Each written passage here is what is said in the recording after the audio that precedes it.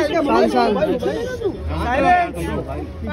Order आ गया है क्या अभी ऑर्डर नहीं जुडिशियल कस्टडी का ऑर्डर आ गया है। अब मैसूर पुलिस जो है उन्होंने ट्रांसफ़र वारंट का एप्लीकेशन किया है। मजिस्ट्रेट साहब अभी लंच पे गए हैं। वो आने के बाद मैसूर पुलिस को कस्टडी मिलेगी या नहीं मिलेगी उसके ऊपर डिसीज़न आएगा। वेल राखी आज अगर डिसीज़न आ जाता है तो I am so scared Adil को ज़िंदगी में कभी ये सभी देखा नहीं है कुछ। सो इमोशनल सो स्कैर्ड सब फ़िल्म में देखा था ये राजा भाई आगे जा रहे हैं। लेकिन अगर मैसूर ट्रांसफ़र कर दिया जाता है तो उसके बाद आपका आगे का क्या क्या मैसूर में तीन तीन चार चार केस है उनपे। एक थ्री कौन सा? सेवेंटी आपने मना किया ना रे बोलने के हाँ three seventy three seventy six और रे बोलने के लिए मना किया है ना। बोलना नहीं चाहिए। थ्री सेवेंटी सिक्स एंड बहुत सारे क्रिमिनल केसेस है चार पाँच केसेस है आदिल के ऊपर। वहाँ कितना वक्त लग जाएगा? शायद पाँच दिन दस दिन पंद्रह दिन बीस दिन एक महीना। मिलने नहीं मिलेगा? बट फाल्गुनी मैम तभी तक के यहाँ के जो केस है उसका क्या प्रोसीजर रहेगा? वो तो चलेगा ना।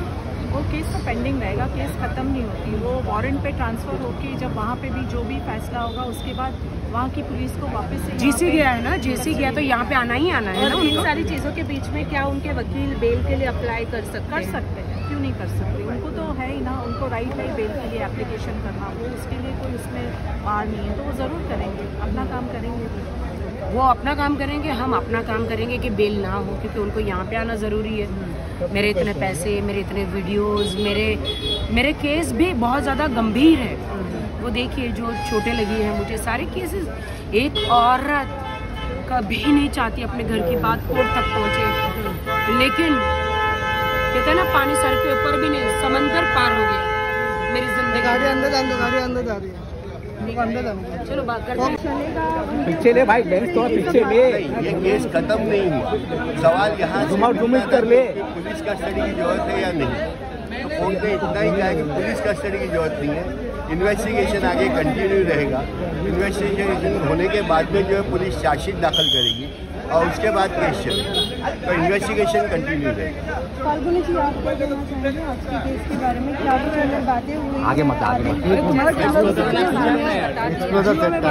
मैं पीछे ही है भाई। बहुत हद तक इन्वेस्टिगेशन गई इसलिए आज कोर्ट मेरा किधर है मालूम? कोर्ट ने जेसी दे दी है। अब मैसूर पुलिस के लिए उनकी क्या ऑर्डर आती है हम उसका इंतज़ार कर रहे हैं। और उसके बाद अगर उनको कस्टडी मिलती है तो आप क्या कहना चाहोगे? सर ने सर की सर और फाल्गुनी मैम यहाँ पे है जय जय जी भी है।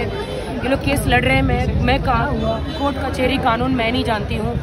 बट आ, मैं अक्यूज हूँ और मैं आई हूँ और कंप्लेनेंट सर। कंप्लेनेंट हूँ मैं और केस लड़ रहे हैं और कोर्ट के ऊपर है जो भी है। अभी भी उन्होंने कुछ कहा है आपको? जैसे कि पहले भी वो बहुत कॉल्स करते थे आदिल तो अ, बार बार पलट रहे हैं। कभी कहते दो मिनट बात करनी फिर कहते नहीं करनी। फिर कहते करनी है।